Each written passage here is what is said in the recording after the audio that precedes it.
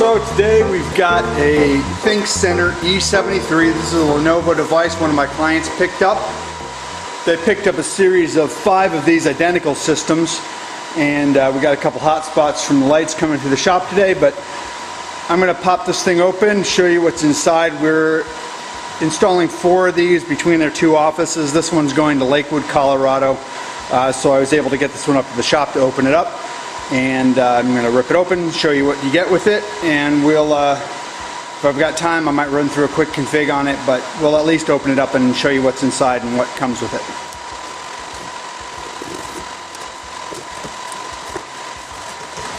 So they include the slim keyboard with these.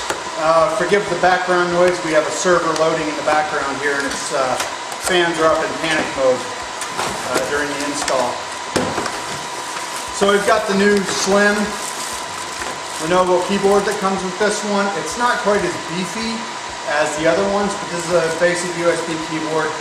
It's okay, I'm not in love with it. It's it's just okay. Some of the other keyboards they made in the past have a little bit beefier keys, uh, a little bit better spacing for me, but you know, keyboard, keyboard's a keyboard, everybody gets used to what they've got. It's a decent keyboard.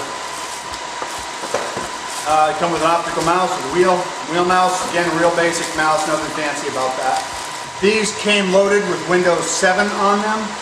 They don't give you the Windows 7 software, they just give you the Windows 8 software for reload. So you'll want to make backups if you pick up one of these with the Windows 7 on it. Tons of styrofoam packing. And there's our workstation.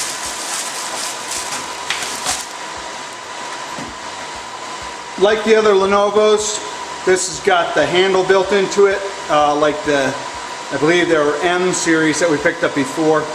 Uh, they've got the handle. They're a decent case. Not super high quality, but overall a, a pretty fair case. Got a couple of USB ports on the front and your mic and headphone outputs. Uh, these came with DVD RWs in them.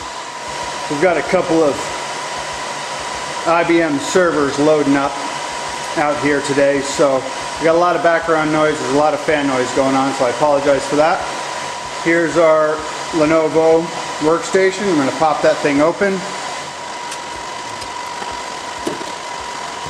These were ordered with an i5 processor and uh, they only got 4 gigabytes of RAM in them which is fine for this client. I like to see 8 gigs in most cases but they run a remote desktop server environment so we don't need a lot of memory or processor in the local machines but these did come with i5s and uh, 4 gigs of RAM. They've got the They've got 500 gigabyte SATA drives in them, and they were right around uh, the $600 price point. These machines are dual monitor capable. You've got to use your adapter for the display port and then a, a, VGA for the other screen. But they are dual screen capable. We've got a couple USB 2 ports, your network, a couple regular USB ports, and obviously your multimedia inputs there, serial port.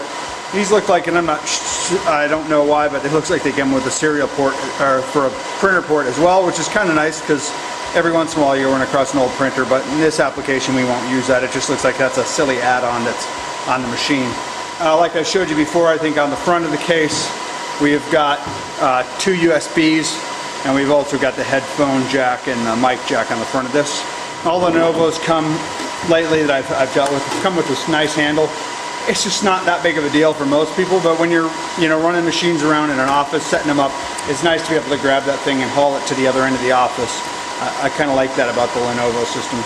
It also comes, and it's probably going to be difficult to see in there, my lights are not optimal because I've got servers on the other side of the table underneath my lights, but we've got two PCIe slots and another slot in there for uh, AGP expansion card. It does have three SATA ports on the motherboard, only two of which are used in this setup. It's got two slots for RAM.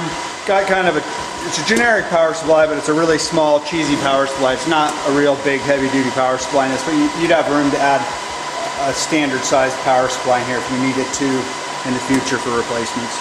I think that's pretty much it. This is the E73. Like I said, about a $600 machine. It'll run dual monitors. Good for an office environment. Not not a gaming machine, not a high-end CAD machine, nothing fancy like that, but good for uh, your office, for your uh, you know salespeople, customer service reps, that kind of thing. It, it's a good machine for that. Um, they did come with a three-year next business day warranty, so any parts on this that crash out or burn up would be uh, taken care of by the manufacturer for the first three years. Uh, again, it's the E73 by Lenovo. Pretty nice machine.